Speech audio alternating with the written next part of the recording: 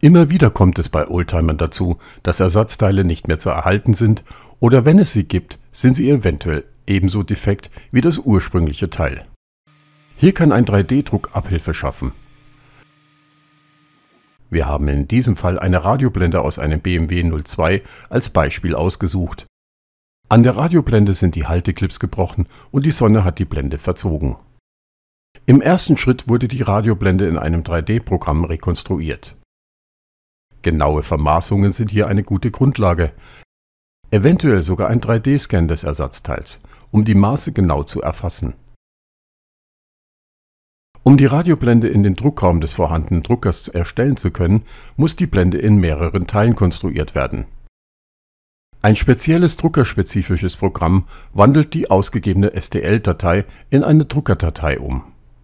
Ein wesentlicher Faktor ist allerdings auch das Filament, mit dem die Blende ausgedruckt wird.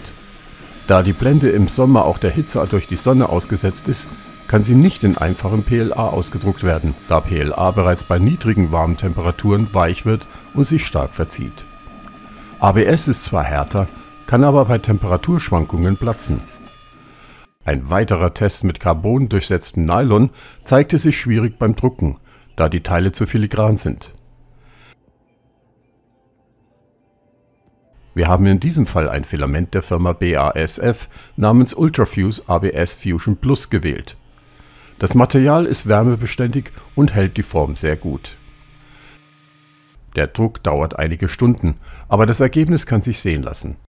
Es entsteht eine perfekt rekonstruierte Radioblende, die sicherlich die nächsten Jahrzehnte das Auto begleitet